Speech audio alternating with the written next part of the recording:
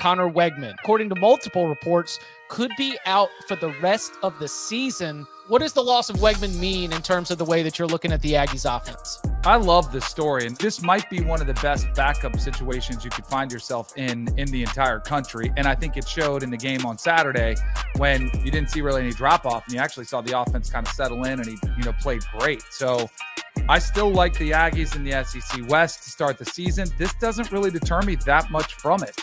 Petrino has worked with a lot of different styles of quarterbacks too, right? I mean, mm-hmm. he coached Lamar Jackson, he's coached pocket passers, he's kind of done it with a lot of different guys. So yeah, you never want to lose your starter, but if there's ever any team as far as offense, coaching, and depth, I think this is the team where you're like, all right, let's see how it goes, and you're not devastated like some schools would be.